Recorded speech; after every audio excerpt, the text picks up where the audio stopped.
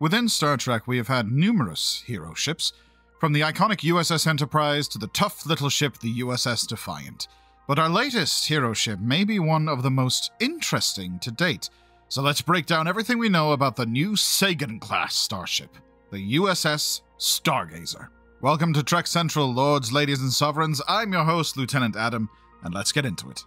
But quick, we're getting super close to 100k total YouTube subscribers, so help us get there. And of course, if you want to keep up to date on all the latest Star Trek news, lore, and more, then make sure you hit that subscribe button and never miss a video from the team here at Trek Central. And you can also follow us on social media for daily updates on the Star Trek universe. As always, please do let us know your thoughts in the comment section below, specifically which Star Trek starship we should cover next, and please stop asking me for my black hole quantum singularity alcohol mixture that almost destroyed three small colonies near the neutral zone. Okay, engage. The USS Stargazer was a Sagan class starship active during the early 25th century in service of Starfleet of the United Federation of Planets. The ship was designed and built during the late 24th century, but saw most of its notable service during the 25th. The first ship of its class, uh, probably the USS Sagan itself, would then be followed by the USS Stargazer. The ship was constructed to utilize new components derived from research on the artifact, which is a nice way of saying abandoned Borg cube that was under the jurisdiction of the Borg Reclamation Project, an independent organization which was overseen by the Romulan Free State and had treaties with the UFP for Federation researchers to assist the project, as the artifact itself was located in Romulan space. The design of this ship had the usual design elements of Starfleet ships, checking all three of the major boxes in a saucer section attached to a secondary hull with nacelles. However, the secondary hull of the Sagan class, if it can even really be called a secondary hull, was directly attached to the rear of the saucer. The ship also had four nacelles, which wasn't too uncommon a sight on Starfleet ships, and it also placed it in illustrious company with the Prometheus class, the Cardenas class, and the previous Stargazer, the Radiant and Constellation classes. The nacelles had large orange Bussard collectors on them, not unlike the Hestia class that you sometimes see in the Star Trek Online video game, as well as the Gagarin class and other ships of the 25th century seen in that online world. The nacelles were not directly attached to the hull, with their pylons attaching to a structure located above and below the main hull of the ship. This structure seemed to be some sort of engineering bay. Not only did the ship have three separate shuttle bays located at the rear, but also had cargo loading and staging areas on the top of its hull, in front of nacelle pylon structure, and behind the bridge section of the saucer. This was known as Bay 4, and was equipped to allow larger pieces of cargo or a variety of shuttles depending on the needs for the missions the Stargazer was deployed on. This bay was connected to the main hangar of the ship through the interior. On either side of the cargo staging area, there were also these weird circular structures. These are actually the warp field governor system, which assists the ship in creating a stable warp field when going to warp. The ship has at least four tractor emitters on its hull, two on either side of the ship, and additionally five transporter emitters visible on its hull, two on the dorsal side of its hull, either side of the bridge module, and three on its ventral side. Talk about ample coverage. This would complement the ship's numerous sensor arrays and strips along its hull. On the underside, you can see the location of the antimatter loading port for the warp core, as well as the exit points for the dual synchronized warp core system, which the Stargazer has. The deflector dish of the ship is sunk into its saucer section and, interestingly, is not overly circular in shape, unlike many deflector designs of the time. In fact, it's not even that oval either. What purpose this might serve in deflector design, uh, unknown. But I assume Starfleet was experimenting with variations, considering the previous modern ship seen in Starfleet was the Inquiry class with its grill style deflector dish. As can be expected with any Federation ship, it was of course outfitted with weapons. Along the hull are numerous phaser strips which allow for phaser fire in various arcs around the ship. None of the breakdowns, though, we've seen so far from creatives such as Dave Blass have revealed where the torpedo tubes live but we can be sure they do exist due to them being standard on all Starfleet ships. The question is whether the Stargazer has a complement of quantum torpedoes alongside the regular photon torpedoes, or even some mention of a type of torpedo we might not have seen outside of Beta canon, like phased plasma. Or my own personal design. Uh, no, Captain Jack's giving me very, very strong shut up signals. Moving on. Unlike the Sovereign class, which suffered from frequent identity crises in regards to its height, the Sagan class was exactly 16 decks tall. The ship obviously had holodecks, and these were located on decks 5, 7, and 9. But whether there's only one per floor, or if there's multiple per floor, eh, nobody knows. You probably guessed that by now. There is a sick bay as well, of course, and that is located on deck 5. The warp cores were located in the engineering substructure of the ship, which from floor plans seemed to be a massive space located on the underside by the pylon section of the vessel. The cargo hold of the ship was located underneath the main hangar, which was also in this engineering substructure. Now, not much of the Stargazer interior has been visible so far, which is why we don't really have that much information to show you. Mostly the corridors, the turbolifts, and the bridge sections have been the only things we've seen. The corridors are very clean and differ from the carpeted corridors seen on most Federation ships from the 24th century. However, we have seen some corridors coming equipped with weapon racks similar to what's seen on the Sovereign class starships at the time. The turbolift of the Sagan class is also very spacious, much more spacious than those seen on other ships. The turbolift also featured numerous terminal screens around the walls, giving visual readouts of the ship's interior, as probably as well as other functions. These turbolifts seem to have taken a design inspiration from the ships of the TOS era, which I personally think is amazing. The handlebars lining the walls of the lift are a dead giveaway of this. An interesting addition to the turbolift is a control panel near the door, which comes equipped with a retinal scanner. Perhaps there are some decks which you need permission to access? Oh, and I just said it was exactly 16 decks tall. Damn! Anyway, the bridge of the Sagan class is very sleek, with the usual iconic central command chair setup found on most Federation starships. There are two individual four control consoles for helm and navigational. What was the difference between those two again? I forget. Anyway, the interesting thing about these four control consoles is that on the floor of them, they have holographic assisted foot controls. Perhaps this can be altered to have it work like the pedals of an automobile or perform other functions. Maybe this is how they manage the self destruct. No, I've made that joke before. Never mind. The terminals surrounding the bridge are incredibly large, curving up the side of the wall and show a variety of different displays from dilithium articulation frame status to communication system status. And as usual, you have a captain and up to two commanders seated in the center of the bridge, though there are ramps either side of this section, and it's slightly elevated with steps to the front. This seems like a trip hazard to me, but oh well, as long as they still have seat belts. After all, it took forever to get those installed as standard. The most combustible consoles on this bridge seem to be the ones at the back of the bridge, ironically, mostly the engineering ones, near the turbo lifts, in fact. They have a transparent display above their consoles, which is given to just going boom at random, it would seem. The same design of consoles can also be seen at the front, either side of the seated consoles. It's almost like they designed them for maximum dramatic effect.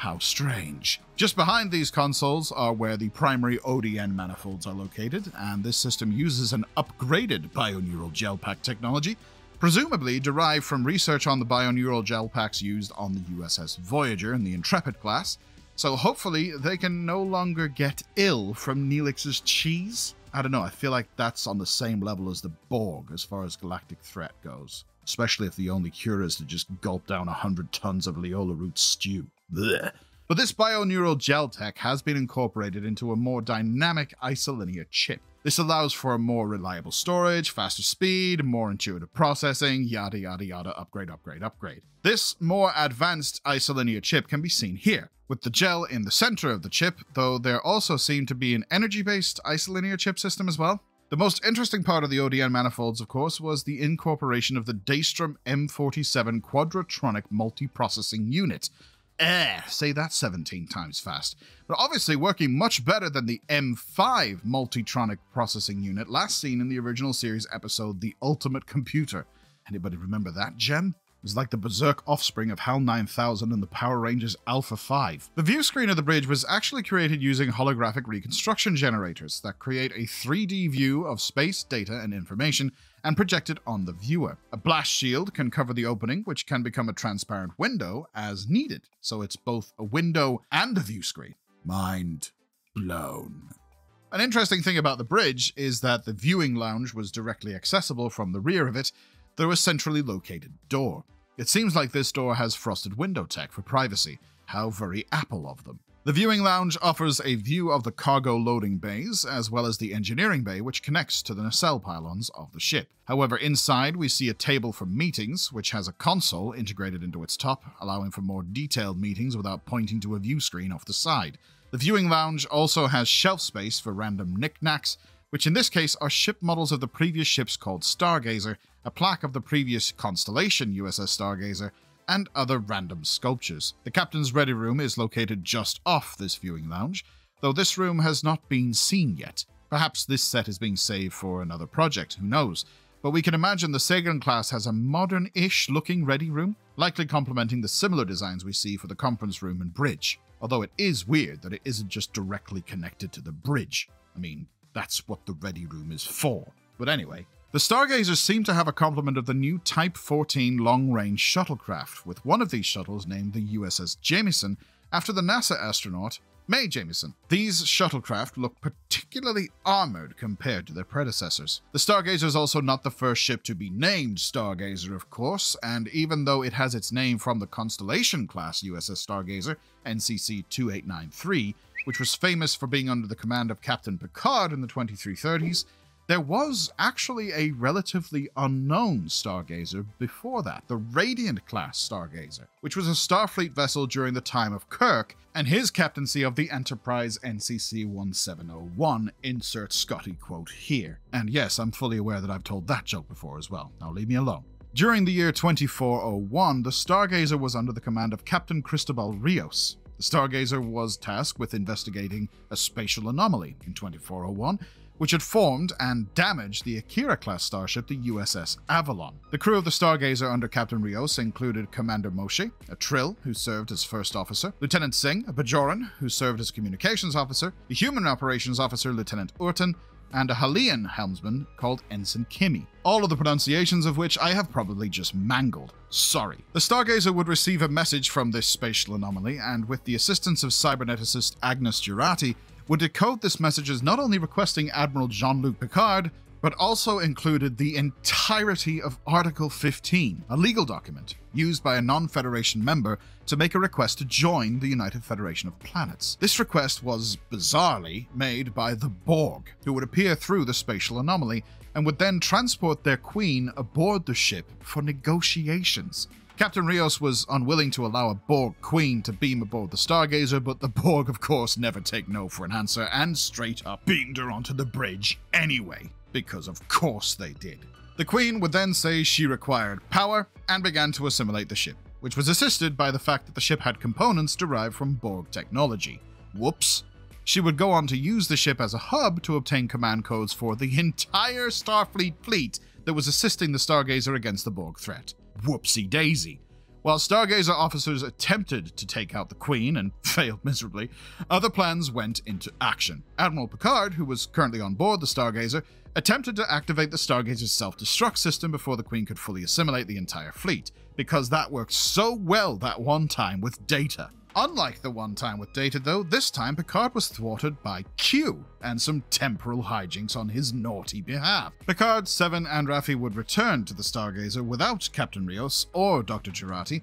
Seven will be given a field commission by Admiral Picard and take command of the Stargazer and open negotiations with the Borg Queen, who, as it just so happened, was Agnes. Uh, from the past. There were two of them now. Yay, quantum mechanics. Allowing her to take command of the fleet, the combined ships would be able to harmonize their shields to prevent an energy wave from the formation of a transwarp gateway from damaging the nearby sector, which would possibly destroy several inhabited planets and kill billions of people. That's right, the Borg let their powers combine and basically Captain Planeted themselves into hero status all of a sudden. It makes no sense to me either. But I can't lie, it was brilliant. The Sagan class starship was designed by John Eaves, Doug Drexler, and Dave Blass. Obviously, John Eaves and Doug Drexler are renowned Star Trek designers, with John Eaves responsible for numerous famous designs from DS9 to Discovery, and Drexler being well known for his work from the next generation onwards, but also for the creation of the NX-01 Enterprise. However, the Sagan class really is a collaborative effort from so many different artists, so let's give those we know a shout out at what they worked on to get this ship made. Let's first go over many of the concept artists that worked on the Stargazer, and again apologies to any terrible pronunciation. We have Igor Nezovic, Matthew Cunningham, Sean Hargreaves, James Chung, and Daren Dochterman. And I'm sure there are many more. However, this does not just include concept artists, but set designers, graphic designers, and everyone else involved with bringing such a thing to life on our screens. The dedication plaque was designed by Geoffrey Mandel, who is a famous graphic designer and has done a lot of previous work on Star Trek. Mandel would also do the graphic work for many of the capsule stickers seen throughout the entire ship. The gold Starship models made for the Ready Room were made by Starship designer Bill Krause, who also would then design the Radiant class USS Stargazer, and the primary ODN manifold FTL nanoprocessing unit from the bridge of the Stargazer was designed by Darko Darmar Markovic. Many concepts for the bridge and its consoles were done by concept artist James Chung, James being the one who came up with the idea of holographic assisted foot controls on the floor of the consoles. A fun little Easter egg is that many of his designs had Nova class or Vengeance class starships from Into Darkness as placeholder textures on the console screens. James Chung seemed to be also the one who came up with the new isolinear chips, which incorporated bioneural gel. And funnily enough, the file of these is titled Isolinear Chip Tide Pods. So let's hope no cadets try eating those in the 25th century. Please? Ugh.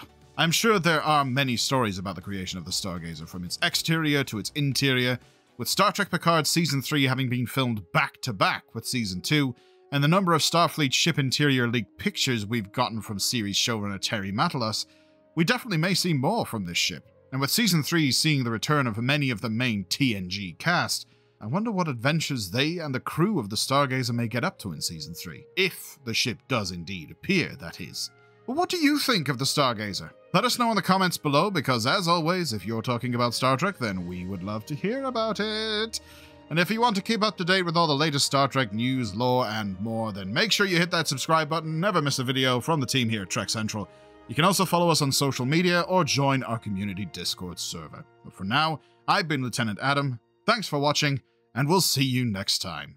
Live long and prosper, my friends.